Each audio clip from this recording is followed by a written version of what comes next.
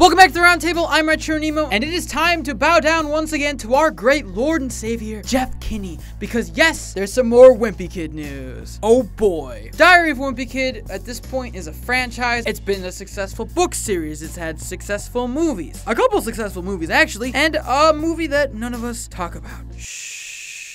And besides that movie, which pretty much tanked at the box office, and a steady stream of Wimpy Kid books, there has not been a lot of new Wimpy Kid media coming out. That is, until we heard wind that there is apparently a new Diary of Wimpy Kid television series in the works. Now, at this point, there's really nothing known about the movie. We don't even know if it's going to be animated or live action. Just a vague announcement, and apparently the news that is going to be made by the person who made The People vs. OJ, which I personally think is the last project a producer would take on after making an Emmy winning series, but who am I to judge? Judge. Now you might be thinking, well, where did does Wimpy Kid TV show come from? I mean, it's sort of coming out of nowhere, isn't it, Retro Nemo? Well, this is undoubtedly an after effect of the Disney Fox merger that has been in the news recently. If you didn't know, Disney just acquired Fox and basically owns the world now, and Fox owns Wimpy Kid. They produced all the movies. So it makes sense that when Disney came in, they all had a new boss and they were experimenting and they were probably looking for new pitches and fresh ideas, just looking to create more original content, which is what led to this Wimpy Kid series being made. There's still a huge audience for Wimpy Kid stuff online online more than ever, and everyone read the books as a kid, so there's gonna be that nostalgia. On top of that, you can look to series and movies like the Captain Underpants franchise, which has been extremely successful over on Netflix. And on top of that, it's actually just a really great show. Everyone should watch it if they haven't. There's also If You Give a Mouse a Cookie on Amazon, and a new show based off of Dr. Seuss called Green Eggs and Ham. I'm not really sure what's going on there. If this ever gets produced, and when it does get produced, it will probably most likely drop on Disney's new streaming service, Disney Plus. That seems to be where they're pushing all their original content, and everything just seems to be going. If anything, I anticipate this is going to be just like a new retelling of the books. The idea of a series makes me wonder, I mean, how are you going to turn these books into a television series? Is there actually going to be an ongoing plot with this? Are we going to see a Wimpy Kid story arc?